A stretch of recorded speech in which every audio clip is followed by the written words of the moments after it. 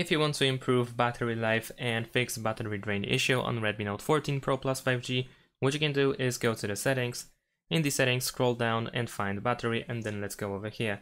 You want to, of course, use the battery saver from time to time. You don't have to, to use it all the time, but it is worth remembering that there is an option that allows you to save the battery a little bit by disabling some of the options and reducing the performance of the device just a little bit but still it allows you to use your device for a little bit longer.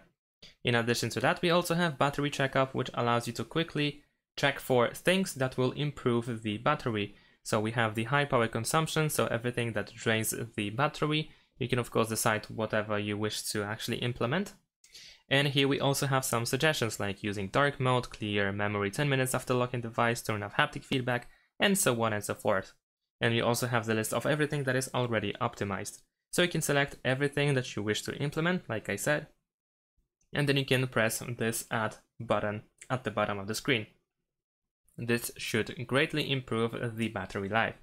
You should also enable the battery protection.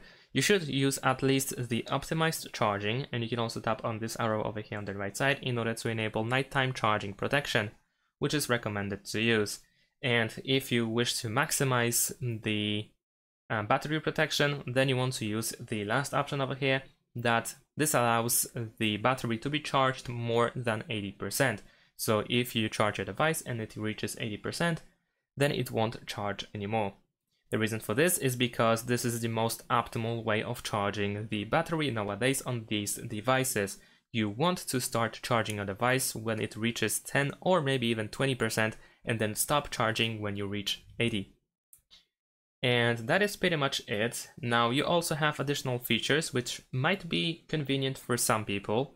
So in certain situations you might want to for instance enable the 5G battery saver and if you live in a region where it is pretty cold then you have the cold endurance mode which limits device performance to extend the battery life when the ambient temperature is extremely low. And that is pretty much it. Thanks for watching, leave a like and subscribe to my channel and see you in my next videos. Bye!